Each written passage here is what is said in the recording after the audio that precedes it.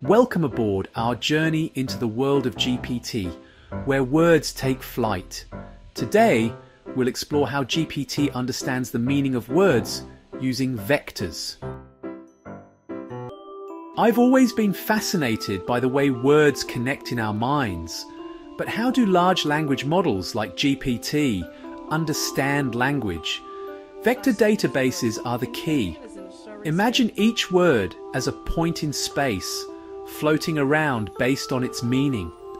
When a language model ingests text, like from web pages or databases, from internet forums, for example, patterns start to emerge in the words. Language models are good at identifying and recording these clusters of patterns. Similar words can be clustered together, while different words drift apart.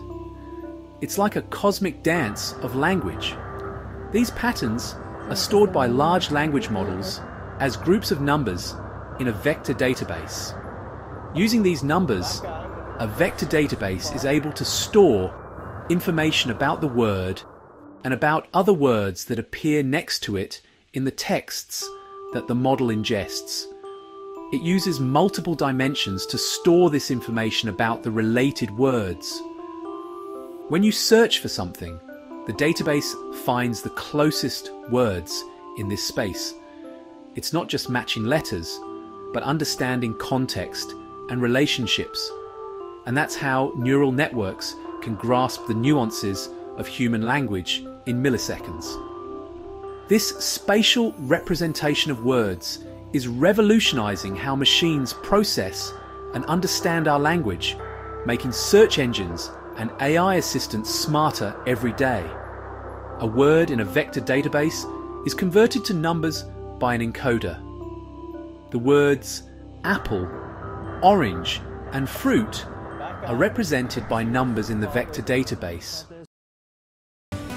Imagine every word is a city on this map. Words with similar meanings, like apple and banana, are cities located close to each other.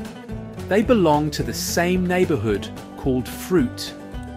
Words like car are located in another neighbourhood. The routes our airplanes take represent vectors. These vectors show the relationship between words. Vectors are groups of numbers that GPT uses to show how close or far away words, like cities, are from each other. Short routes mean the words are closely related, while long routes indicate they're less similar. All, but our world isn't flat. It's multidimensional. In GPT's brain, words exist in a space with many dimensions, much more than three. Each dimension represents a unique feature or characteristic of the words. GPT navigates this complex airspace using these dimensions. Think of each dimension as a gauge in the cockpit, helping GPT understand various aspects of a word's meaning, like its role, context, or sentiment. Behind the scenes, a neural network acts like air traffic control, managing all these flight paths. It processes the vectors, ensuring each word reaches its correct destination in meaning and context.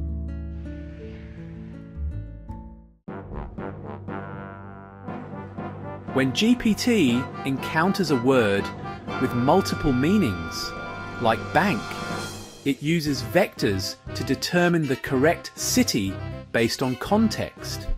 Is it the financial bank near money and finance, or the river bank near river and stream?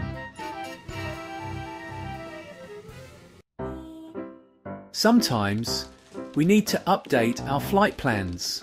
Through prompt engineering or fine tuning, we adjust the vectors, like adding new routes or changing existing ones, so GPT can understand new concepts or contexts. GPT's airspace is always expanding. It continuously learns and adapts, just like an airline adding new destinations to meet travelers' needs.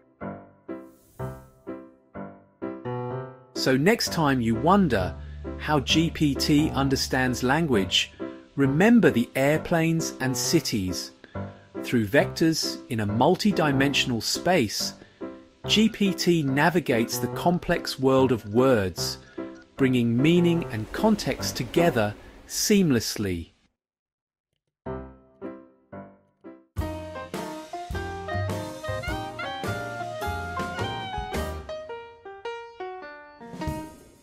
Thank you for joining us on this flight. Keep exploring, and who knows where words will take you next.